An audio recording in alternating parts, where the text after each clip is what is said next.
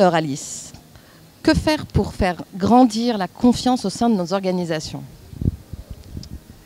Vaste sujet que la confiance, Géraldine. Je pense qu'effectivement, la confiance, c'est vraiment le socle aujourd'hui de la transformation. Si on veut amener plus de collaboration, plus d'intelligence collective, euh, plus d'horizontalité, il faut amener de la confiance.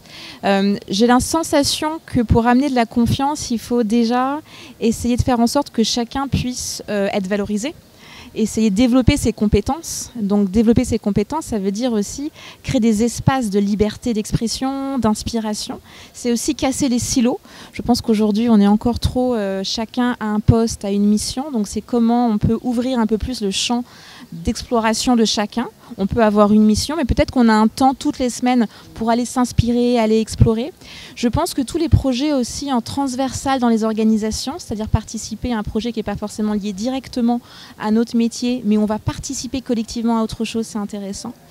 Et c'est une manière aussi de valoriser, de donner du sens, de donner de l'importance à euh, la capacité de chacun à faire.